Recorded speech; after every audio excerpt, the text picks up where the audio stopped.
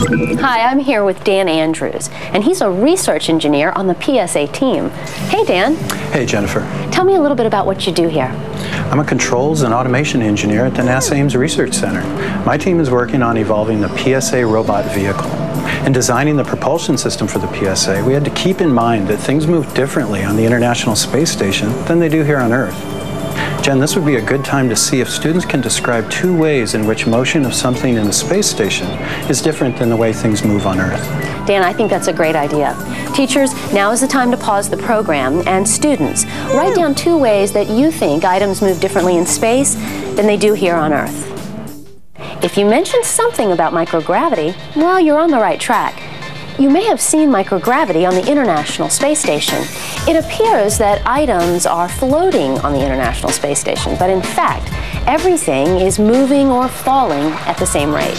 To learn more about microgravity, check out the NASA Connect program, Who Added the Micro to Gravity. So did you mention something about friction or lack of friction? Well, you're also on the right track. The motion of an object on the space station is like moving on ice, or throwing a ball versus rolling it on the ground. This is a functional prototype of the PSA, which means it's a working model. We have also tested the prototype on a granite table, which has very little friction, like an air hockey table. So it's a simulation of what motion is like on the ISS. So Dan, how does the PSA move? In this functional prototype of the PSA, we're using fans. We have six sets of fans located around the robot. Air is drawn in from one side of the fans and expelled out the other side. That creates a force on the robot and enables the PSA robot to move. It's important that we use a quiet propulsion system because it's relatively noisy on the space station and we don't want to aggravate the problem. We also need to test the PSA in three dimensions. We need to allow it to move up and down, left and right, forward and backward.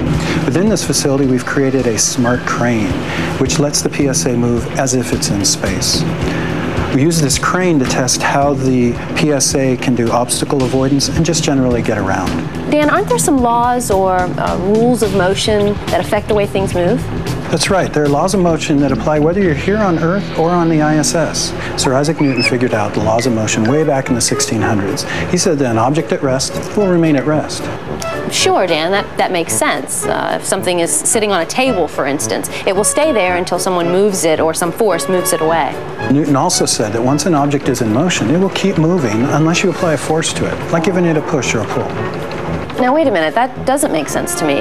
Doesn't everything just stop moving eventually? Things stop moving because of gravity and friction. In microgravity, you can really see Newton's laws at work.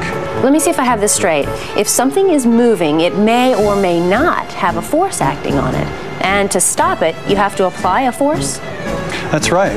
On the ISS, the PSA will float because of microgravity, and it will keep moving once you push it. So Newton was a pretty smart guy. I mean, he thought of this 300 years before NASA sent astronauts into space. Once you apply a force, like pushing the PSA, it will move and keep moving. In fact, the PSA will keep moving even if you turn the fans off and apply no force at all. Okay, so how do you stop the PSA?